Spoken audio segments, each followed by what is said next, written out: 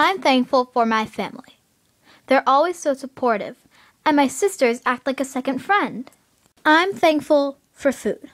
Without food, we would pretty much be dead. And also, nowadays, there are so many yummy things to eat. I'm thankful for friends. They always give you a shoulder to lean on when you're happy, sad, or just need some support. I'm thankful for books. They can take you to amazing places that you would have never have gone to otherwise.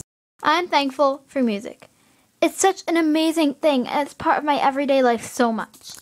I'm thankful for the arts. It's such an amazing way to express our creativity, and the world would be so dull without it.